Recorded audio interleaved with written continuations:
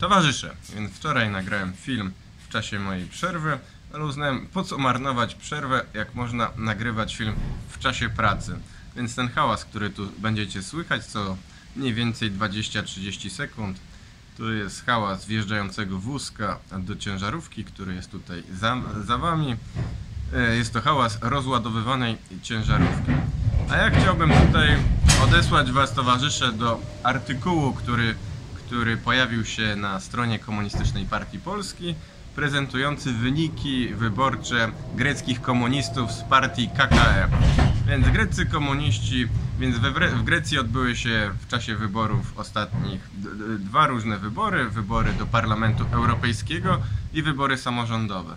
Więc w wyborach do Parlamentu Europejskiego, w tych samych, w których patałachy z lewicy razem dostały 1,2, to komuniści greccy dostali ponad 5% i wprowadzili dwóch europosłów, a w wyborach samorządowych osiągnęli jeszcze lepszy wynik na Wyspach Jońskich, tam e, w wyborach samorządowych e, 6%, a łączny tam na, na Wyspach Jońskich to w niektórych regionach e, jeszcze, jeszcze lepiej.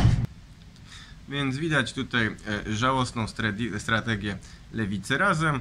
E, No, jeśli w czasie kampanii wyborczej Ikonowicz, e, Ikonowicz licytował się z Tarczyńskim na antykomunizm, e, a z kolei e, no, Adrian Zandberg martwił się głównie tym, żeby dokonać antykomunistyczną czystkę w partii i i gdyby przypadkiem ktoś oskarżył e, razem o komunizm, o marksizm, to groziła mu pro, prokuratura, no to no i oczywiście partia razem e, z partii lewicowej czy socjaldemokratycznej przekształciła się w partię lobbystów na rzecz wielkich europejskich korporacji, więc widzimy to, że po pierwsze strategia, strategia żałosna, po drugie wyniki żałosne, no greccy komuniści, lewica razem 5-1.